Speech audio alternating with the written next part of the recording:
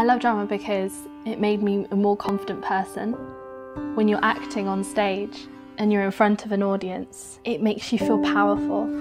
And I think that power you can take with you into everyday life and feel confident within yourself as a person. Moving here, experiencing everything, I feel like it's just opened my eyes to the whole world.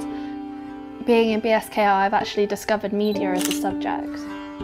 I feel like I could really go into any field of career that I wanted to and it would be okay, I'd be prepared for it because I've done it here at BSKL.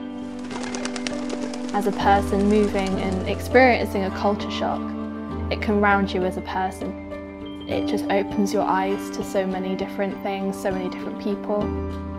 You embrace other people's culture, you just learn from them. I think that's the most important thing when you're in an international school, you learn from people and their experiences.